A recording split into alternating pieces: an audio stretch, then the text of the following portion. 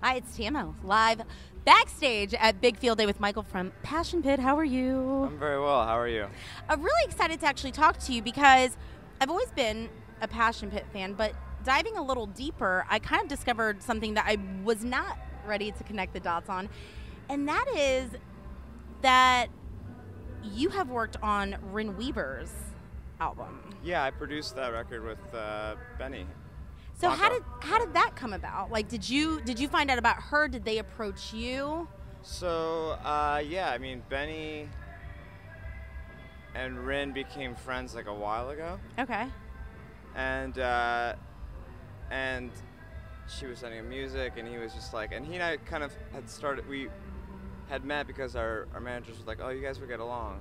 We are like, oh, I don't know. And then we met up at once and just really hit it off and just started making music together. Not for Passion Pit or anything, just seeing what project would work. And then um, he was like, look, I, I think I really want to work with this girl. I think she could be amazing. And what do you, you know, what do you think? And the demos were awesome, and we kind of just started talking with her and figuring it out. And yeah, we And we then it ended up just became producing. this awesome collaboration. Yeah, we we just uh, we finished that record a little while ago, and she's just been amazing. Yeah. uh, it's been really, really fun. Well, I I was so excited because I just discovered her myself and like I was telling people around the station Yeah. and one of the big wigs in charge of the top 40 station was just like I heard something about her like honestly is she good? I'm like, "Yeah, she's good." And Yeah. then like to put two and two together, I'm like, "Well, I love Passion Pit. I love this new artist." Like the fact that it was like, you know, this coincidence was really really yeah, cool. no, she's that was an amazing,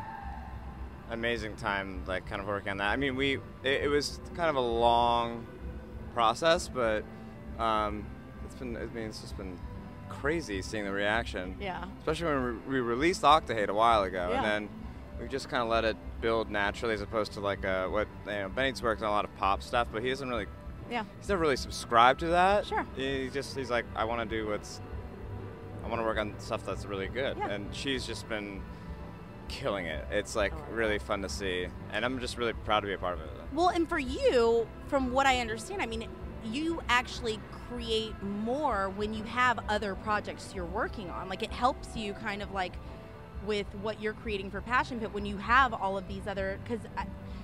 How I would interpret that is how you have other avenues to focus different types of creative energy, and you can like you're like okay, well maybe that sound isn't something I want to use for Passion Pit, but I can use it for this other. Is that how it works? I mean, what is that? Yeah, no, that's exact. No, no, that's like s- spot on because, um, I I mean, because people have there's this weird thing with passion Pit where, like, well, they'll listen to Kindred and be like, well, there's nothing really new going on. It's like, well, that's kind of the point. Like, I I have this specific sound and I want to see it through with Passion Pit. Yeah. It's like that's kind of it. It's just it's like I get to scratch this itch that I always have had. Like, this is the synth pop that I want to make.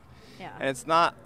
It's funny that it's like the one because when I because when I was making Passion music in the beginning, I had like eight other projects going on, and so it was the one that kind of took off or whatever. But like you know, I felt like for most of my life I've been I've been working only in the synth pop realm, and that's not really indicative of what I can do or what I even love to do. Like you know, Well, you're not like reaching your full like potential. Well, like you're not exploring those other avenues. But that's not to like diminish the impact Absolute- of yeah. Passion Pit in my Sure. life. I mean, Passion Pit is a huge outlet for me, but like, it's just really fun to have all these other things Yeah. going on. I just like when whenever it's kind of the idea where like, you know, when someone tells you to do one thing and you're doing that, and then you got a ton of ideas for all these other things. Yeah. And so that's exactly why I have all these other projects going on because like, then I'm like, th- that's what made me want to make another Passion Pit record. Was like working on Ryn You- and working on all these other projects. Like, I was like, oh, I actually have some ideas for a Passion Pit record, and I had never had that kind of, you know.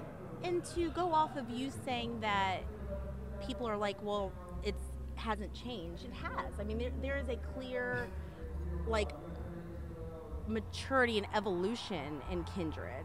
And while it might still like sonically, like you know, aesthetically, like be the same, it isn't the same. Yeah, you know, no. you're, you're, you're, you're able to present something that is familiar and palatable um, to your fans, but also offer like a whole nother mindset. Was that was That- that, intentional? Yeah, no, that's um, That's pretty much again spot on. um, I mean, the idea was not to change it up sonically. It was to like, if people really wanted to dive into it, then they would actually hear the differences, as opposed to it being like, let me go in this other direction sonically and and so blatantly deliver this different take on what's happening. It's really just a snapshot of my life at different, you know, very different points. Yeah. But um, but using the same sonic palette or whatever. You know what I mean? I'm using the same sounds, but for the most part, I mean, it, it will always change. But yeah, I- I, I didn't want to. I wanted to kind of, I wanted it to be a little more subtle in terms of what was changing, and then I felt like that was much more. Had a bigger impact. Well, Uh, and- and and you're for- able for to present know. different content because you're doing you're delivering it in a way that is I don't want to say comfortable for people or comfortable for you, but like because you're getting the same sonic experience in ways you're able to present different material. It, yeah. Yeah, Yes. and that's I mean that there's there is a special genius behind that No. because you can't. I, I feel like if if people even understood that in life, you could get. It's like if you say something with a smile, you can get so much further than like you know you can do like. you want to just do my interviews for me because you know, like you're, you're, you're, you're th- thank you so much because it's, it, you get it. yeah. And you know how hard it is to like, because it's not, because you know how it's like, you, you you go around and explain like, well, why you really the music hasn't changed at all. It's like, no, it's changed. It just hasn't changed. Like I don't want to do like 180 degree turns with every. Yeah, what do you want me to have an acoustic guitar And then everyone's gonna then everyone's gonna be like, well, yeah, they changed their sound up, and it's like you you can never make anyone happy. Absolutely. But at the same time, it's like I'd rather just stick to my guns and make like this, what I set out to do, Yeah. like which is like a synth pop sound with a very specific vocal sound and all this, and then just see what changes along the, you know, and, and if things don't really change that much, then maybe it's run its course. Can't but force it. but that's the fun thing about it is like actually sticking to a, spati- a particular sound. There's nothing harder than doing that. Actually, I love that. some people are like that's all they can do, but like I usually I would be all over the place. Well, especially because you are so creative, but I, I think it obviously has helped that you've had all of these other avenues to explore and kind of, you know, indulge in. You're, you're like, if, I'm- if I'm, I'm- feeling this different sound, then I can, I have an avenue for that. It's been yeah, that's been really the best part about what's been happening lately. It's just like it's so fulfilling. I'm super lucky to, Yeah. to have made great friends and with people who want to explore new, you know, territories with me. And honestly, it's just it's made Pit way more enjoyable.